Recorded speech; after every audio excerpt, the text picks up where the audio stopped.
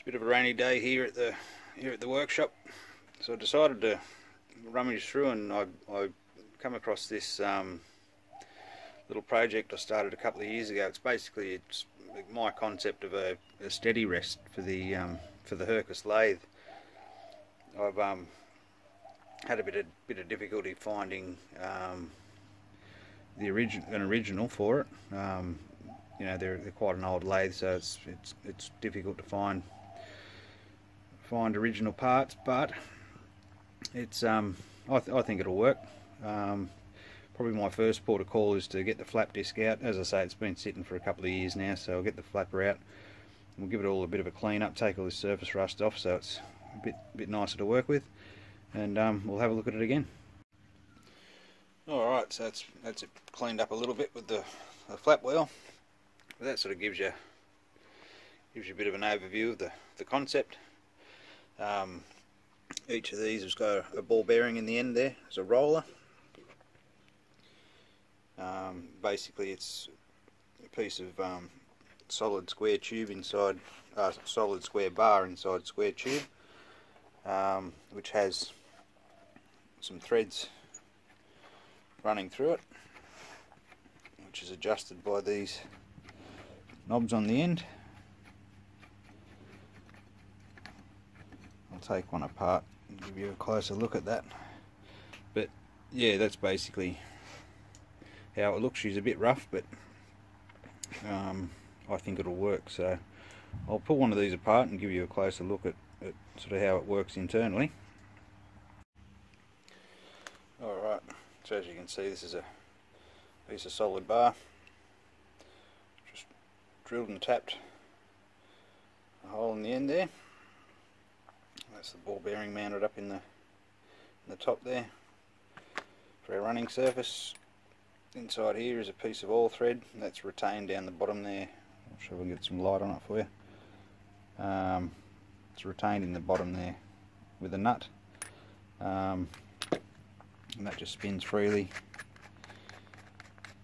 inside the tube and that allows the um, that allows this piece to, to move in and out according to whatever adjustment you need. So I think what we'll do now is we'll um, make sure our measurements are right. We'll get it all all tacked together. Another thing I need to do is to drill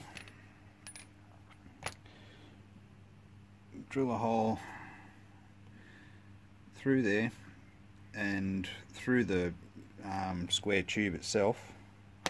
And what I want to do is put um, weld a nut on there and so so that a bolt can pass through through the square tube and touch onto our solid square bar. Um, once we've got it in position adjusted to hold our, our workpiece I want to then be able to lock it off with um, with a, a nut uh, with a bolt through that captivated nut at the top that's welded in on the face there um, just to lock everything in. So I'll get all that set up and marked out and we'll um, we'll go and drill some holes.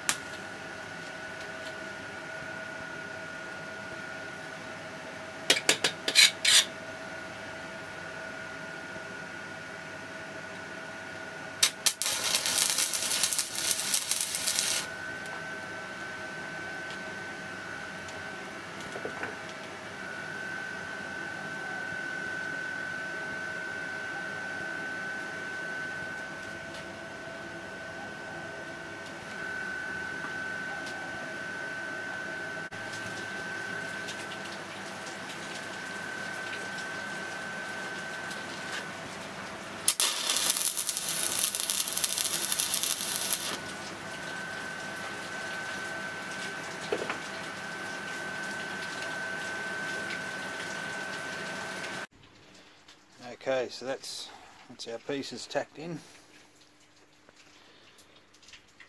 Just to hold it all all in place. I think what we'll do now is we'll take it over to the lathe and we'll we'll fit it up, make sure everything's in line and as as we want it before we do any more welding.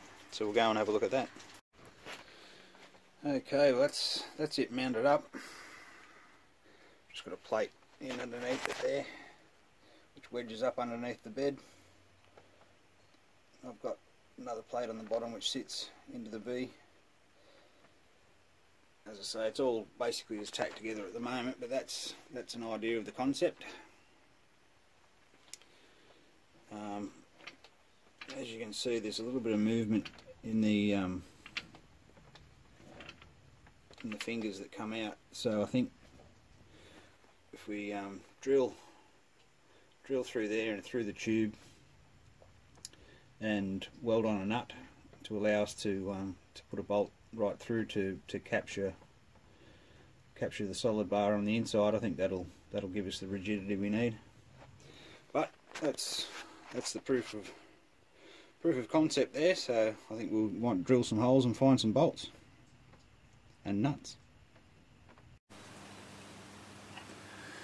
Anyone that's got a workshop knows that you've got to have at least one or two random biscuit tins full of miscellaneous nuts and bolts. So I'm just having a bit of a rummage through. I did find these left over from something else.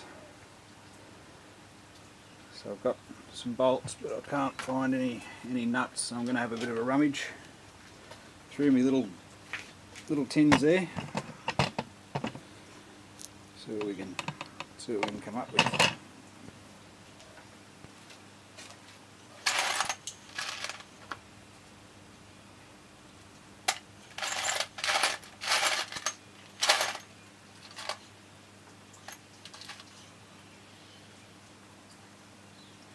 usually manage to find something to fit.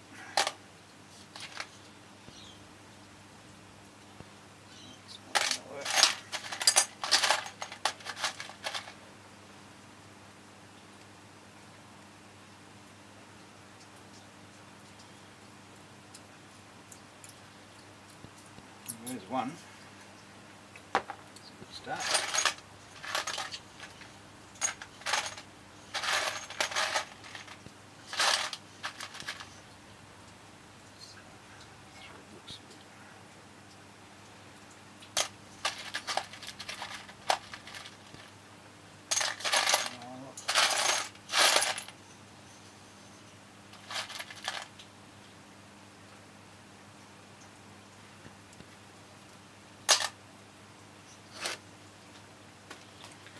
Do a bit more rummaging and I'll bring you back when I find something.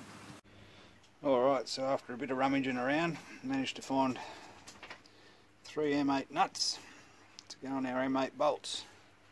So what I'll do now is I'll, I'll take the um, take the inserts out one at a time and drill them about 8.5 mil. Just give a little bit of clearance there. Um, I'll do them one at a time because basically they're they're matched to their tubes. So um, I'll do that, get them set up and the get the drill press set up, and we'll drill some holes.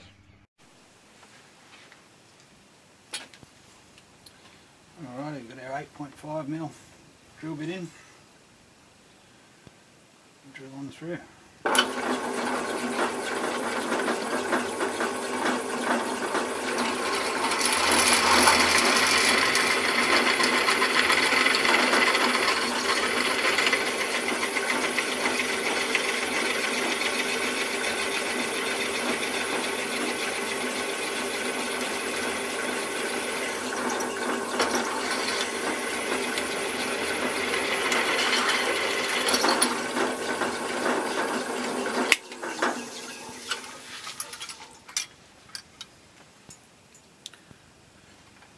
Yeah.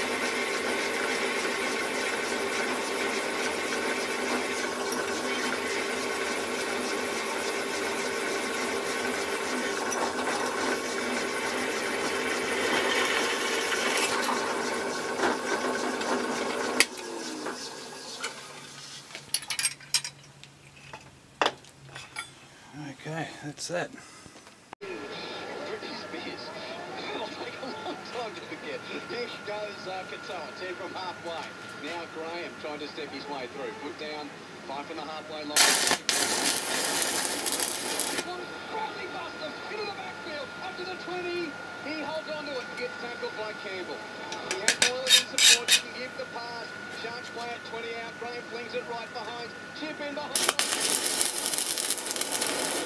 and fielded but dies in the in-goal area. Goal line dropout coming up. You know who Bradley did have Chock. Had your man Miller on the inside. Didn't see him. He was under the black dot. Lachlan Miller in his debut game. Uh, there's that try we're talking about. He loomed up, didn't he? Yes, he's got some speed too. He did Look over that right shoulder. I reckon it would have been try time to Lachlan Miller. 12-6 Cronulla Sutherland. This is a, a much better game than you credit. Okay, so we've got our our nuts welded on. And our bolts. Screw down in there nicely. It's getting a bit dark down here at the workshop. Sun's going down. So I might end this video here. We'll call this part one. Um, I think the next thing to do would be to weld out these joints all around. Basically everything's just tacked together at the moment. So we'll weld out all the joints all around. Um, make sure everything's lined up and as we want it. And then we'll move on to part two. Thanks for watching.